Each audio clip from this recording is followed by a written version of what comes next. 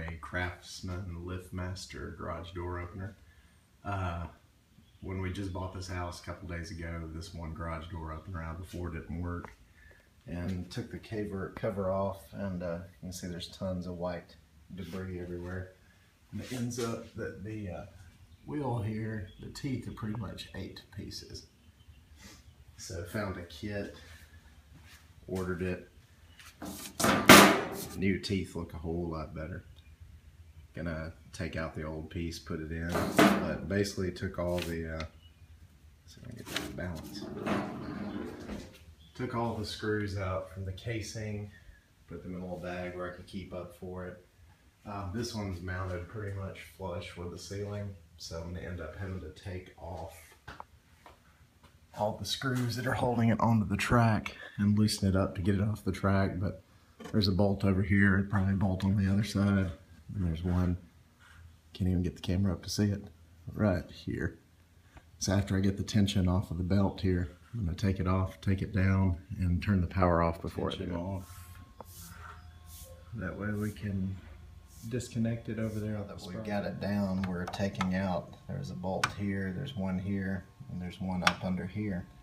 We're gonna take this clip off that's right here, and then we'll be able to take this whole assembly out going down. So we got them out, and it looks like this one was eight pieces, like we were thinking. New one looks a whole lot better. And uh, I'm gonna go ahead and replace our worm gear here. Get them light. The worm gear in this one was starting to get ate up really bad. Um, up here in this bearing assembly, just use an Allen wrench.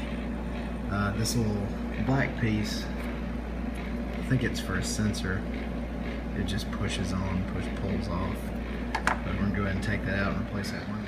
We got the uh, pieces off up here and ended up having to take a file and file down where the two Allen wrenches were. And now I'm gonna take these bolts you can kind of see there's one at the bottom of the screen, one at the left screen, there's one up under there.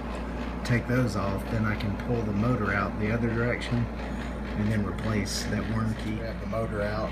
This one key here is just slotted. See on the other, it definitely need to be replaced though. And uh, we'll just pull this one off and then we'll pop this one off. The truth, um, the track there was actually a bolt right here and one further back. I didn't get to mention that at the beginning of the video, but we're gonna see if this thing works here. And uh, I wired everything back up to our control. I think it's this one.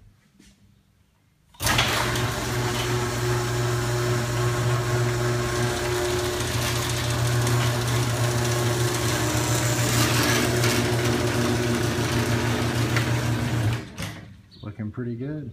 I might just have to adjust the uh, how far up it goes just a little bit, but looks like it's gonna be pretty close.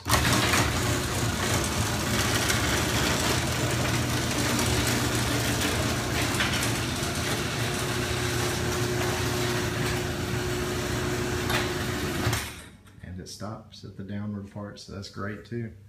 But yeah, it didn't take too long. Uh, definitely will help if you've got a person helping you hold things. Um, if you can have somebody just kind of help them hold the motor up as you unscrew it would be great. But I fixed it and it was a lot less than buying a new motor.